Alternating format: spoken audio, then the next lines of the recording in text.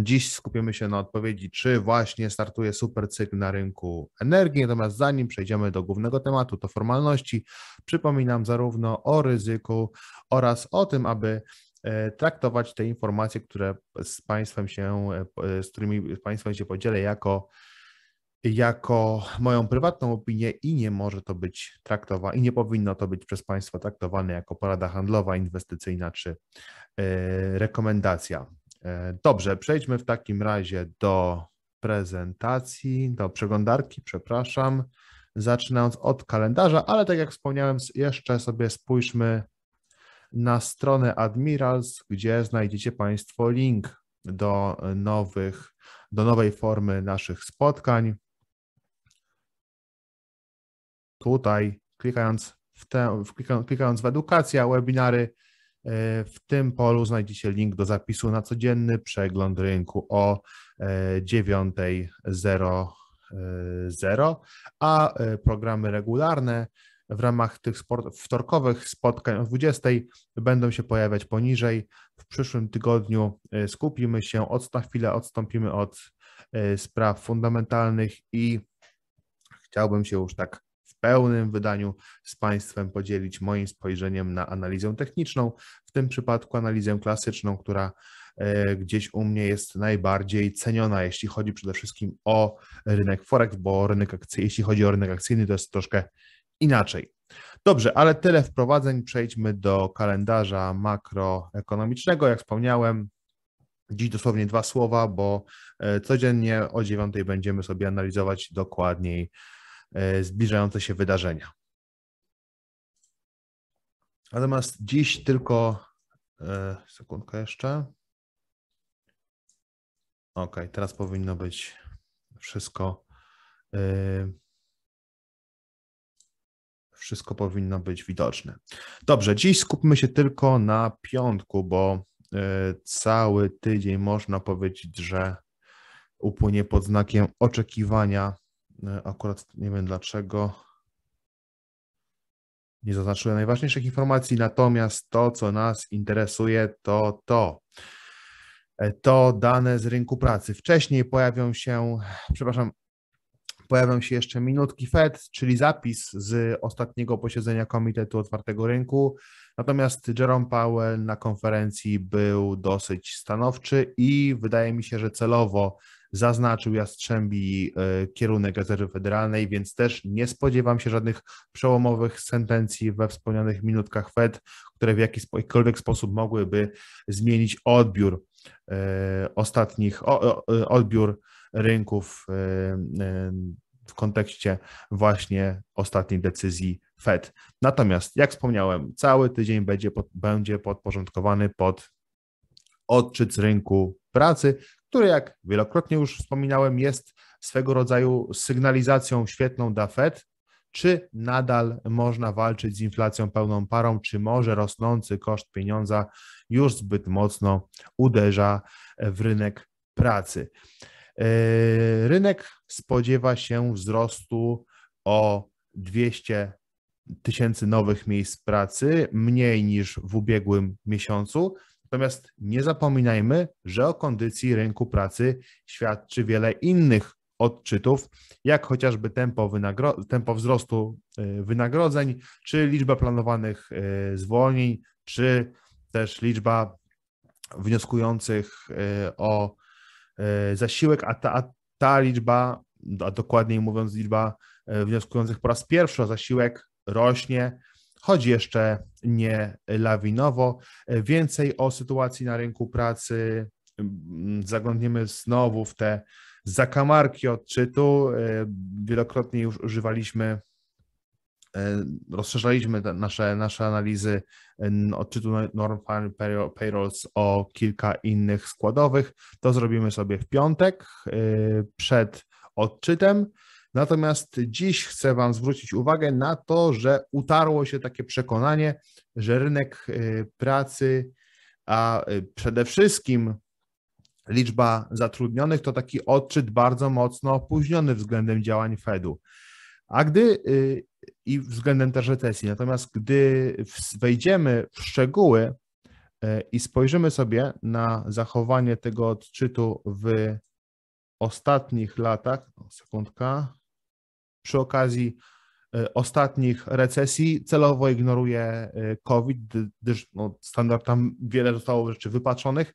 Natomiast e, jak spojrzycie, to podczas ostatniej recesji tempo wzrostu liczby zatrudnionych gwałtownie zwolniło w 2007 roku przed tą ostatnią, najbardziej pamiętaną recesją. I spójrzcie, między czerwcem 2007 roku, a grudniem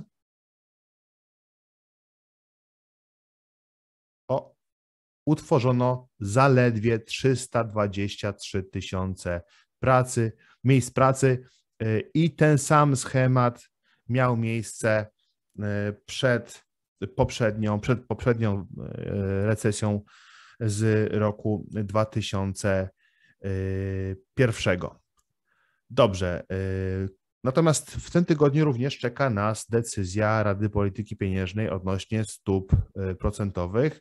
I jak ostatnio nie ma żadnych wątpliwości co do tego, że stopy w Polsce y, pozostaną bez zmian. Natomiast to nie oznacza, że są jakiekolwiek przesłanki do przyszłej obniżki. Wręcz przeciwnie, z racji na wzrost stawek VAT, być może czeka nas ostatni, pewnie ostatni y, mocny podryk y, inflacji. Y, choć skoro już teraz z jednej strony nie ma wątpliwości, że Orlen utrzymywał podwyższoną cenę hurtową paliw, aby podwyżka, aby podwyżka VAT była nieodczuwalna dla konsumentów, a teraz tę cenę obniżył, to dla gospodarki powinna to być realna obniżka, bo żadną tajemnicą nie jest, że dla firm nie liczy się, że, dla firm liczy się koszt paliwa netto, no bo VAT jest neutralny z racji na fakt możliwości jego odliczenia, co oznacza, co powinno oznaczać, że ceny podwyższone w oparciu o droższy transport przez ostatni okres niższego VAT-u powinny teraz spaść. E, no, zobaczymy, e, czy to faktycznie będzie mieć miejsce. Natomiast pierwsze miesiące, szczególnie styczeń i luty, będą stały pod znakiem zapytania, jak gospodarka, jak wynik inflacji zareaguje na, na te zmiany stawek VAT. Natomiast i przed, teraz właśnie przed oczami macie wykres inflacji w Polsce, ale w ujęciu miesiąc do miesiąca, ponieważ chciałbym Wam zwrócić uwagę na odczyt marcowy zeszłego roku, ponieważ właśnie w marcu powinna, powinien być widoczny już gwałtowny spadek inflacji w Polsce, bo właśnie bo mówiąc kolokwialnie, właśnie z y, efektu bazy, z bazy, czyli tych ostatnich uwzględnianych w odczycie rocznym inflacji, tak naprawdę wyleci, wyleci e, ten marzec, który przypominam, e, w tamtym roku inflacja w marcu w ujęciu miesiąc do miesiąca wyniosła aż 3,3% i ten odczyt już nie będzie uwzględniany w właśnie w marcu, więc spodziewam się wyraźnego spadku inflacji już od, czy to od, właśnie od odczytów y, marcowych i ta tendencja gwałtownego, oczywiście jeśli y, nic się nie stanie z cenami energii, ta tendencja powinna zostać utrzymana, ponieważ te kolejne miesiące po marcu, czyli kwiecień, maj i czerwiec to były okresy wyraźnego wzrostu inflacji w ujęciu miesiąc do miesiąca i te miesiące będą po kolei wylatywać, mówiąc kolokwialnie, z e, bazy. Dobrze, przejdźmy do tematu głównego naszego e, spotkania, czyli próby odpowiedzi na pytanie, czy czeka nas nowy super cykl na rynku energii, a precyzując, skupimy się przede wszystkim na rynku ropy i też chcąc nie chcąc e, gazu. Dobrze, jak pamiętacie, największym problemem, który trapi rynki od długiego już okresu, jest spadek capex, czyli spadek nakładów e, inwestycyjnych. Ropa ma to do siebie, że jest surowcem skończonym i o ile w przypadku krajów o łatwo i łatwo dostępnych i bogatych złożach, to ten problem wydaje się być względnie odległy w czasie. Tak w przypadku krajów, które korzystają ze złóż szczególnie niekonwencjonalnych, to aby utrzymać e, produkcję potrzebne są tam stałe nakłady e, inwestycyjne. E, o tym kiedyś sobie, świetnym przykładem jest też Meksyk. Kiedyś, jak będzie, będzie mm, czas, to o tym sobie szerzej porozmawiamy. Natomiast wracając, konsekwencje spadających nakładów inwestycyjnych obserwowaliśmy praktycznie przez 2021 rok, w zasadzie do wakacji tego roku. No a brak, a brak, a brak inwestycji to problem z utrzymaniem aktywnych e, projektów, który jest widoczny nie tylko w Stanach Zjednoczonych, bo ten wykres, który pokazuje e, drastyczny spadek aktywny, liczby aktywnych wiertni, pokazywałem Wam wielokrotnie, ale spójrzcie, widoczne jest to również dla krajów grupy OPEC. Spójrzcie na wykres pięcioletni. W porównaniu z marcem 2020 roku spadek jest y, wyraźny, mimo że już trwa pewnego rodzaju odreagowanie, to różnica jest drastyczna, a popyt na ropę jest, jest już zbliżony. Natomiast brak aktywnych, brak nowych projektów, czy w ogóle spadek aktywnych wiertni, to, spad, to zwykle spadek produkcji. A przypominam, że o cenie ropy decyduje finalnie równowaga popytu i podaży. A jak widzimy na tym wykresie od Międzynarodowej Agencji Energii, e, popyt, czyli żółta linia, ponownie w przyszłym roku przekroczy, przekroczy poziom podaży. I wielu się już wydawało e, przez, przed wybuchem wojny, że takiej sytuacji już nie będzie, ponieważ kończymy powoli świat oparty o ropie, nawet najbardziej wstrzemięźliwe agencje gdzieś już yy, przemycały tę teksty, zdania o faktycznym, y, zbliżającym się szczycie y, popytu. Natomiast wszystko się zmieniło w momencie wybuchu wojny, a wspomnianą praktykę odejścia od paliw kopalnych zaczęły powoli wypierać głosy rozsądku o bezpieczeństwie energetycznym. I to już widać, jak widzieliście już po tym wykresie, czyli po ruchach największych firm naftowych, które w 2022 roku to są odpowiednio wydatki kapitałowe dla Chevrona, Shella i ExxonMobil. W 2022 wyraźnie odbiły, nadal są na względnie niskich poziomach, natomiast e, można powiedzieć, że, że dołek został e, w tym przypadku uklepany, mówiąc kolokwialnie, a to przekłada się również na e, liczbę aktywnych projektów. To widać po tym wykresie, zarówno dla międzynarodowych projektów, jak i dla Stanów Zjednoczonych. E, interesują nas e, te grafiki dotyczące właśnie platform wiertniczych dla, dla ropy. Wyraźnie odbijają i to jest oczywiście bardzo dobry sygnał. Natomiast spójrzcie, nadal jesteśmy znacząco poniżej e, poziomów z 2018-2019 e, roku, a wszystkie aktualne prognozy zakładają, że popyt w 2023-2024 roku będzie wyższy niż przed wybuchem pandemii, a jeszcze będąc, mając odpalony właśnie, e, mając włączone opracowanie od e, agencji paliw amerykańskiej, to również spójrzcie w ujęciu na rynku amerykańskim. Widoczne jest odbicie nakładów inwestycyjnych na każdym etapie produkcji ropy od wydobycia poprzez serwis i dalej w w sektorze rafineryjnym. Dobrze. Przejdźmy dalej. I teraz pojawia się pytanie, czy odpowiadając, zbliżając się do ty, tytułowego pytania, czy zaczynamy nowy super cykl i mając taką podkładkę, którą właśnie zrobiliśmy, to spójrzmy na opracowanie od Arjuna Murtiego, którego teksty i analizy gorąco polecam. Link oczywiście mogę spróbuję wkleić na czacie. Ja wiem, że ostatnio był z tym problem, ale powinno być już ok. Link wysłałem na czacie, więc gorąco odsyłam. Natomiast e,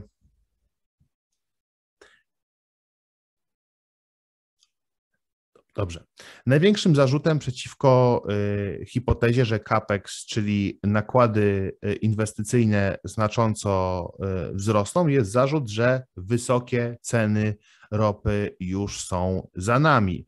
Natomiast jak zauważa autor, wzrost na rynku energii kończy się dopiero po wieloletnim wzroście cyklu, wzroście nakładów kapitałowych, a nie przed. A jak już Wam e, przed chwilą pokazałem, to widać na tym wykresie, czy też na tym, e, jesteśmy raczej aktualnie w dołku niż, niż bliżej jakiegokolwiek szczytu. Więc to, to po pierwsze.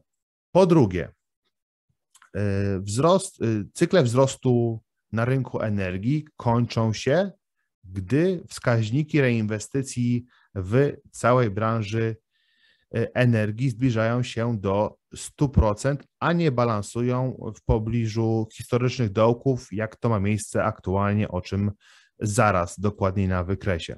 No i po trzecie, wspomniane cykle na rynku energii kończą się, gdy waga spółek sektora energii sięga y, średniego poziomu. E, aktualnie jest to 5% w przypadku całego indeksu SP. W październiku było to e, zaledwie 2%, natomiast e, zaraz zobaczycie, że spółki sektora energii potrafiły w przeszłości dobijać nawet do 10-15% kapitalizacji całego indeksu, a to ważne, ponieważ aktualnie wielu analityków zarzuca, że spółki energetyczne zachowywały się nieproporcjonalnie lepiej od pozostałych Mówię przede wszystkim o, o indeksie, o spółkach indeksu y, SP. Natomiast gdy spojrzymy w przeszłość, to już się okazuje, że to wcale nic takiego nadzwyczajnego, bo chociażby czasy lat 70. i okres wysokiej inflacji, to który przypominam, był spowodowany głównie arabskim embargiem. Spójrzcie, mamy SP stracił 16% w tym okresie, natomiast spółki sektora energii wzrosły o 73%, a właśnie w latach 70.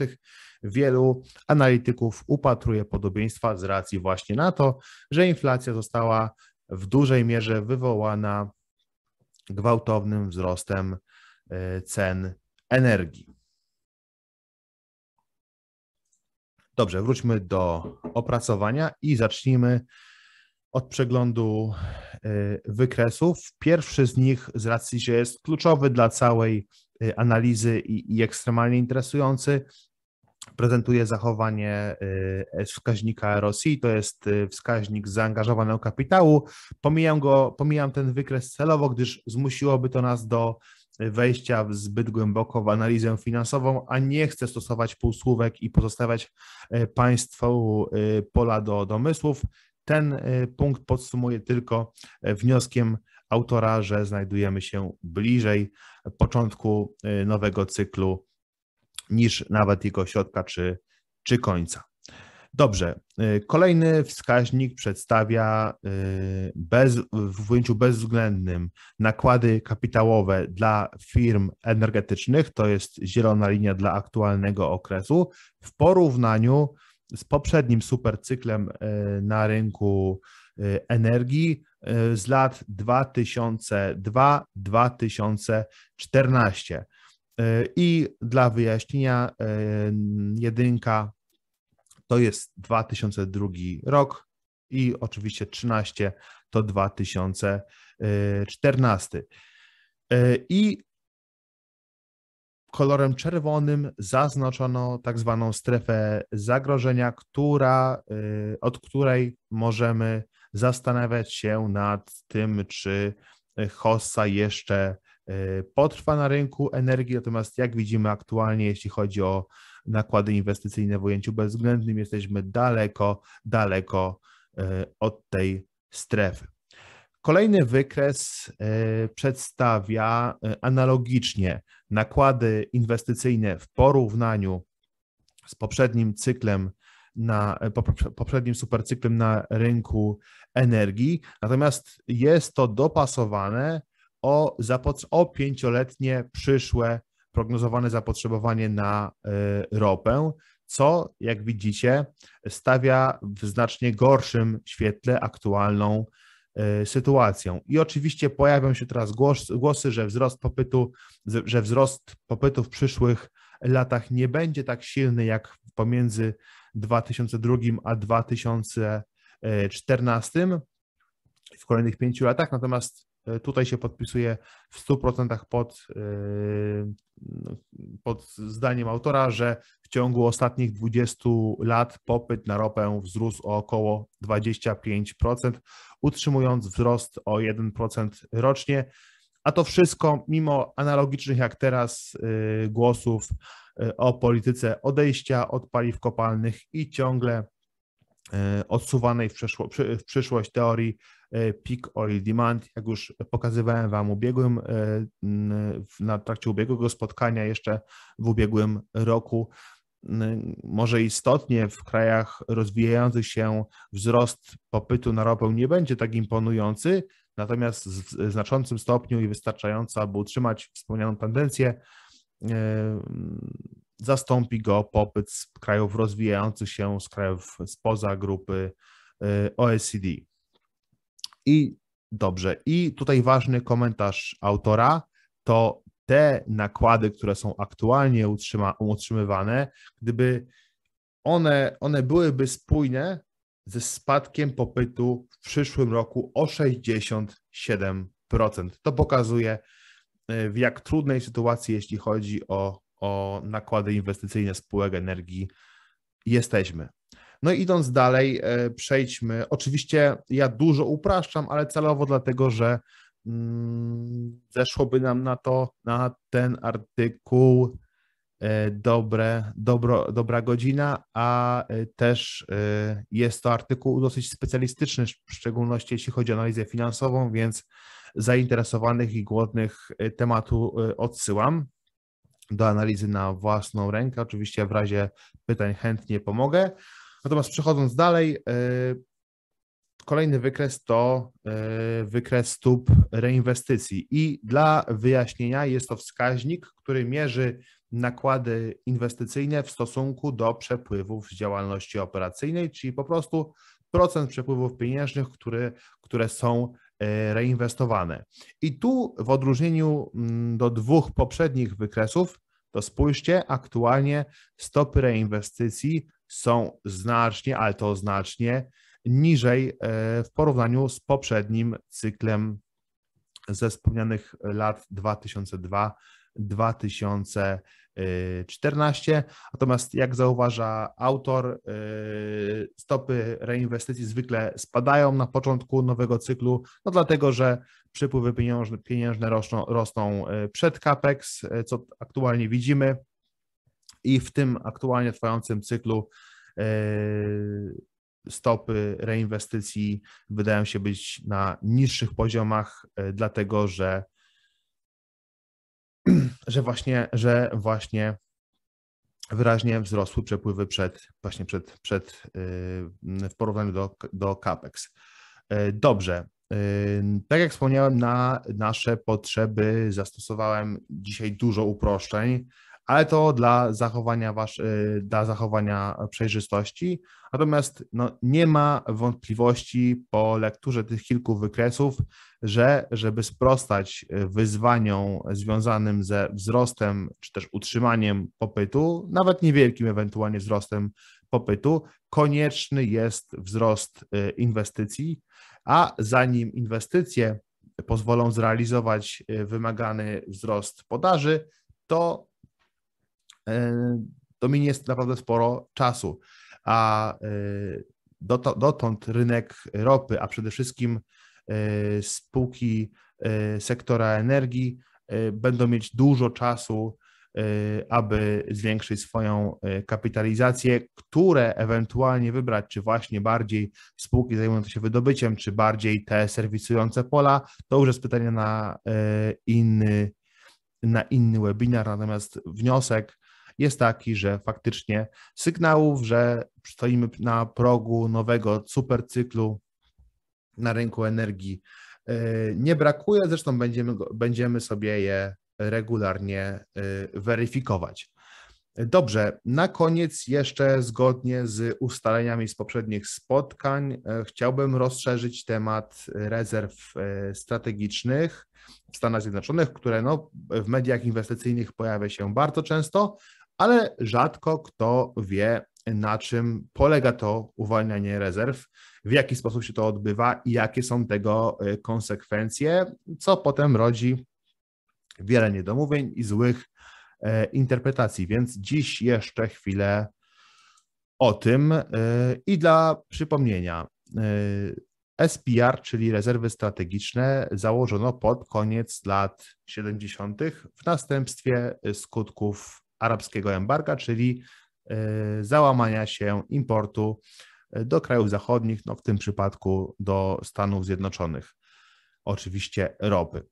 I to natomiast fakt, że SPR istnieją zaledwie 50 lat, to oznacza, że USA przetrwało lwią część swojej nowoczesnej historii, w tym dwie wojny światowe e, i wojnę w Wietnamie, bez SPR, które co do zasady, jak wspomniałem, mają chronić właśnie przed załamaniem importu.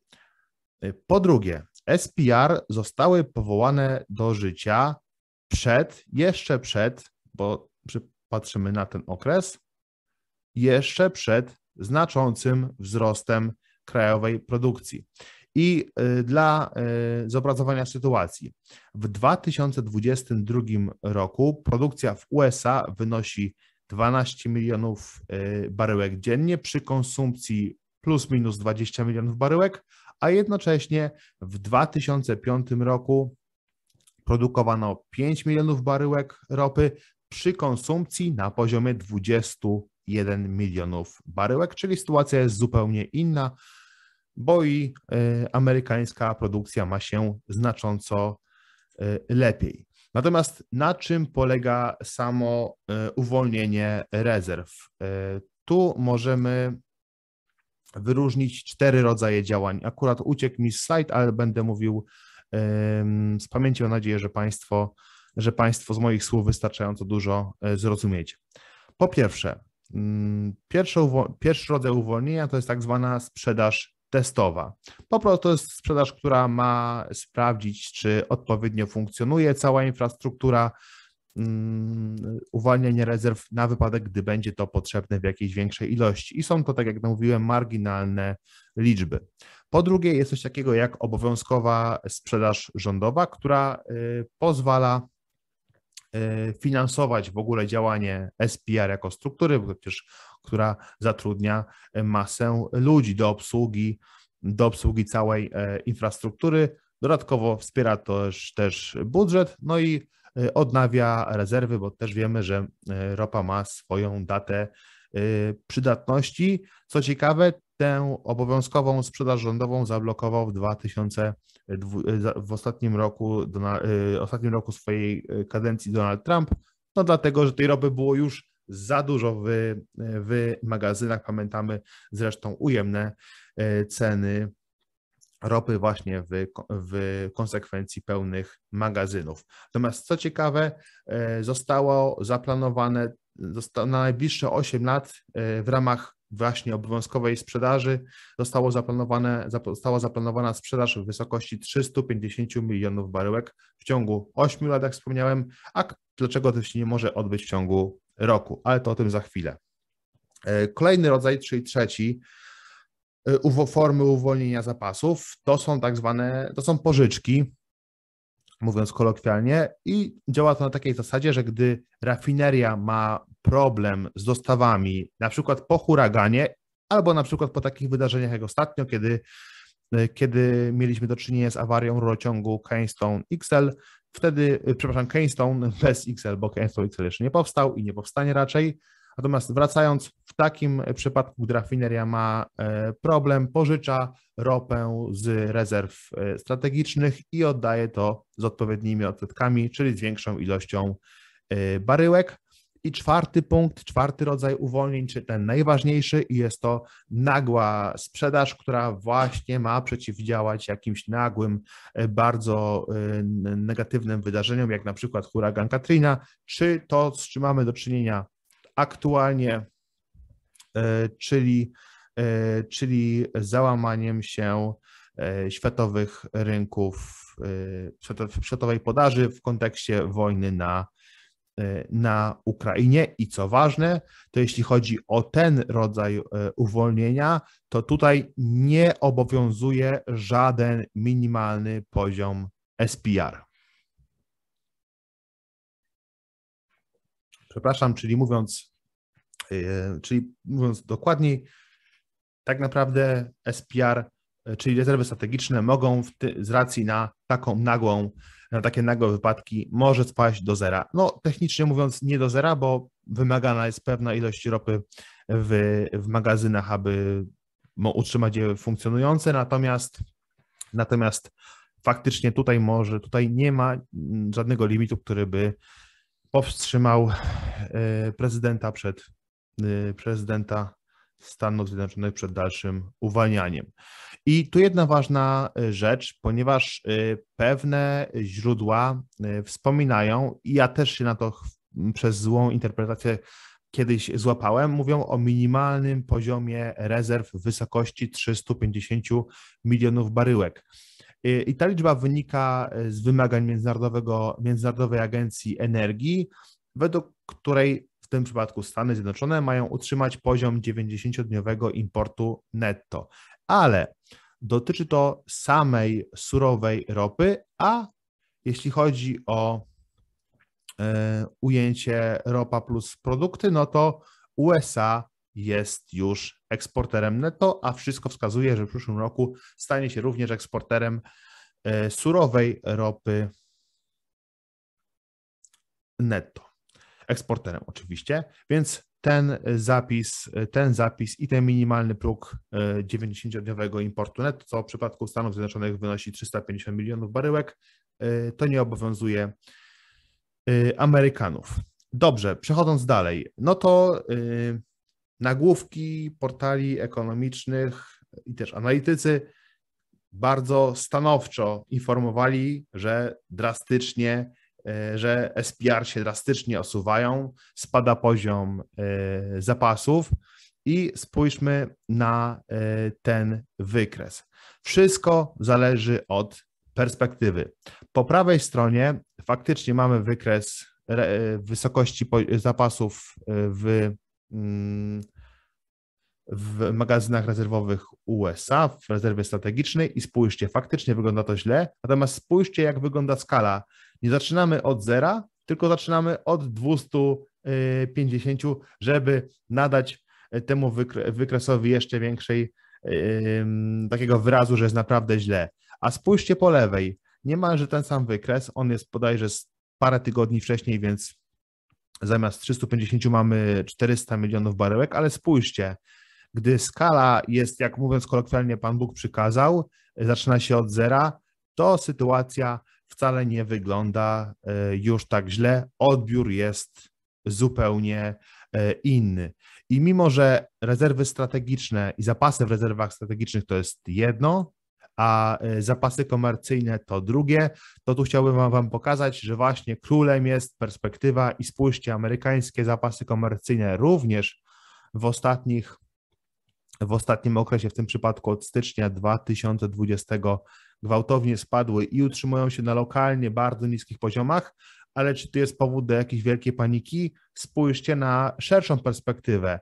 Gdy spojrzymy na zapasy komercyjne, czyli te same i ten sam wynik, czyli 418 milionów, milionów baryłek, to spójrzcie, jesteśmy na poziomach, które, które, nie, które przed 2015 rokiem byłyby jakimś ekstremalnym poziomem, no nigdy nie widzianym, prawda? Spójrzcie. A mimo wszystko nagłówki trąbią właśnie o drastycznie niskim poziomie zapasów. No nie. Oczywiście tempo y, spadku jest, jest, jest niepokojące, natomiast nadal y, aktualny poziom zapasów jest y, pod względem bezpieczeństwa energetycznego USA na poziomie wyraźnie powyżej, na powyżej poziomów, które mogłyby być alarmujące. Pytanie, gdzie jest poziom optymalny dla gospodarki? czyli też bezpieczeństwa energetycznego, no tu to nie jest, to nie jest pytanie na dzisiejsze e, spotkanie. Zresztą chyba nikt nawet jednoznacznie nie jest w stanie określić takiego e, poziomu. Dobrze, przejdźmy dalej. Podkreśliłem na samym początku, że rezerwy strategiczne zabezpieczają przed spadkiem importu. I co to oznacza? Ano fakt, że w rezerwach strategicznych USA gromadzone są przede wszystkim gatunki kwaśne, bo te właśnie głównie importuje e, Stany, te, te głównie importują właśnie Stany Zjednoczone, dlatego że amerykańskie firmy wydobywcze wydobywają przede wszystkim gatunek słodkiej ropy, a amerykańskie rafinerie potrzebują zarówno jednych, jak i drugich. I spójrzcie, jeśli chodzi o rezerwy strategiczne, one również zawierają, e, mają w swoim składzie znaczącą ilość baryłek e, słodkich, ale spadały właśnie głównie baryłki kwaśne. W tym przypadku jest to kolor niebieski. Więc jeśli Stany Zjednoczone zdecydują się uzupełnić rezerwy, to nie pomoże to to, w żaden sposób nie pomoże amerykańskim firmom e, wydobywczym, które produkują głównie ropę e, słodką. Część w Zatoce Meksykańskiej i do niedawna w Kalifornii, Kalifornii produkowało ropę e, kwaśną, ale jest to ułamek w, w skali całych magazynów, więc tak czy inaczej, jeśli Amerykanie będą chcieli uzupełnić ponownie zapasy, to będą musiały znacząco zwiększyć import z krajów, które takie gatunki wydobywają. A jakie są to kraje? Kanada, Arabia Saudyjska, Irak i jeśli dojdzie do porozumienia i zniesienia sankcji, ustalenia jakiegoś nowe, nowego kształtu JCPOA, również Iran, bo w Iranie również ta ropa kwaśna jest e, produkowana. I spójrzcie na potwierdzenie moich słów. Tutaj e, z mm, tutaj również zestawienie z jakich rodzajów ropy korzyst pod względem właśnie zawartości siarki korzystają amerykańskie rafinerie w, dystryk, w, e, w dwóch z czterech regionów USA to też dla, w ramach wyjaśnienia Stany Zjednoczone są podzielone dla, według Departamentu Energii na kilka ok, y, regionów y, właśnie pod względem zabezpieczenia y, energetycznego i dla dwóch z nich spójrzcie udział tych kwaśnych, tych kwaśnych gatunków nadal jest istotny. Patrzymy na ten, na ten i na ten. I faktycznie mimo że e, krajowa produkcja wyraźnie, i ten, to jest ten e, żółty odczyt, wyraźnie rośnie, no to nadal udział tych kwaśnych gatunków jest dosyć, dosyć wyraźny.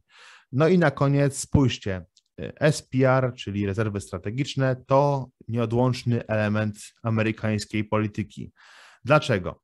Kilka lat temu Donald Trump czynił ogromne y, starania, żeby sprzedać rezerwy, żeby sprzedać połowę rezerw y, strategicznych. Również pojawiały się głosy kilkanaście lat temu ze strony republikanów, że trzeba zlikwidować Departament Energii, który właśnie zarządza rezerwami y, strategicznymi. Natomiast aktualnie narracja polityków republikańskich znacząco się zmniejszyła i to widać na załączonym poniżej tweetie jednego z senatorów, który właśnie mówi o tym, że drenowanie rezerw strategicznych tworzy niebezpieczeństwo dla amerykańskiego sektora energii.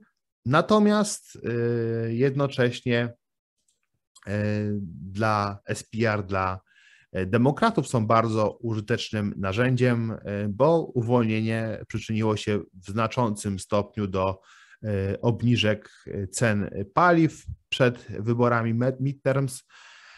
No tylko pytanie cały czas pozostaje otwarte, czy SPR stworzono po to, żeby rozwiązywać strukturalne problemy rynku i lata e, wspomnianych wcześniej sektorowych zaniedbań, czy wspierać go w nagłych, w nagłych e, sytuacjach, która, a według wielu analityków wcale e, ta aktualna, te aktualne problemy rynku mogłyby być zupełnie niezauważalne, mogłyby być inaczej, mogły w przypadku braku zaniedbań na e, rynku ropy przez, na rynku szerokiej energii, e, wojna na Ukrainie mogłaby być całkowicie niezauważalna. Mówię przede wszystkim o, o e, rynku amerykańskim. I szukając jakiejś puenty odnośnie właśnie rezerw strategicznych, to nic jak widzicie, nie stoi na przeszkodzie, żeby e, Joe Biden nadal e, kontynuował uwalnianie rezerw. Amerykanie poradzą sobie bez 500 milionów e, baryłek w rezerwach strategicznych, a wspomniane uzupełnienie kwaśnej ropy powinno, powinno mieć miejsce z racji właśnie na niższe aktualnie ceny ropy i chwilowy, i chwilowy, i chwilową nadpodaż, która E, aktualnie obowiązuje.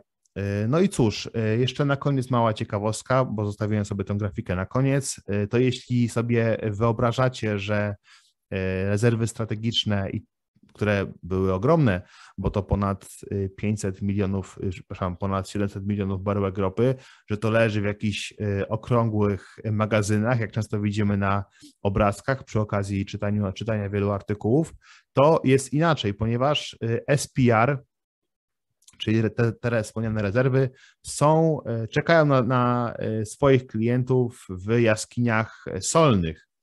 A to dlatego, że i bezpieczniej, i też jest taniej. Dobrze, drodzy widzowie, dziękuję za dzisiejsze spotkanie. Zapraszam w czwartek na przegląd, codzienny przegląd rynku, który właśnie rozpoczynamy w czwartek. E, będziemy sobie analizować dokładniej bieżące wydarzenia, a w każdy wtorek o 20 będziemy się spotykać na takich uniwersalnych webinarach, które będą dotyczyć albo jakichś kwestii edukacyjnych, albo jakichś uniwersalnych, e, albo inaczej szerokich, szerokich spojrzeń fundamentalnych. Dziękuję i do usłyszenia.